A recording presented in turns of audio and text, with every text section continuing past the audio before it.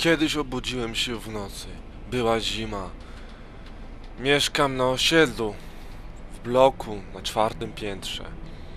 Leżałem bez ruchu. Światło latarni odbijało się od pokrytej śniegiem ulicy.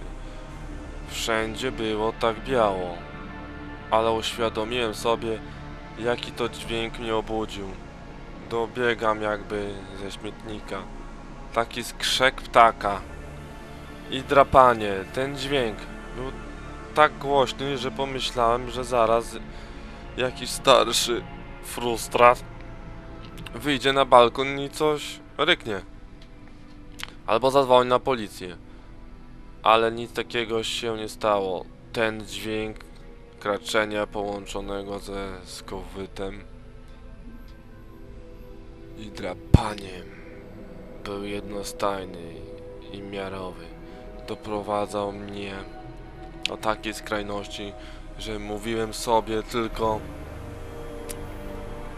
Przecież to się nie może dziać naprawdę. To nie jest horror, tylko prawdziwe życie. Serio, miałem już łzy w oczach.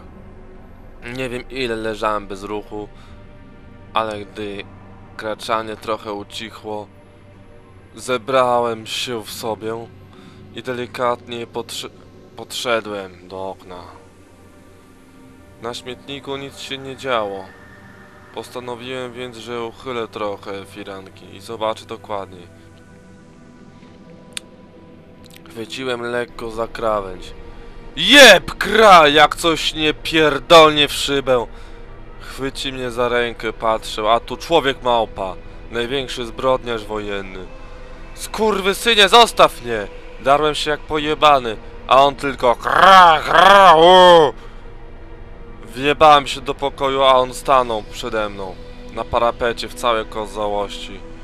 Szybko wybiegłem z mieszkania, otworzyłem szafkę na bezpieczniki na korytarzu. Chcąc urwać drzwiczki, aby mieć czym się bronić, ale człowiek był za mną. Kra! Odskoczyłem, a on jak nie pierdolnie w te bezpieczniki.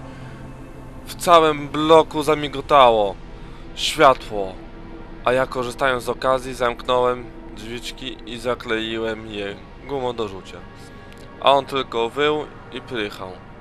Po czym się uspokoił, a ja wróciłem do swojego łóżka. Człowiek małpa siedzi już w budce na bezpieczniki drugi rok. A ja tylko modlę się, żeby nie było jakiejś awarii w bloku.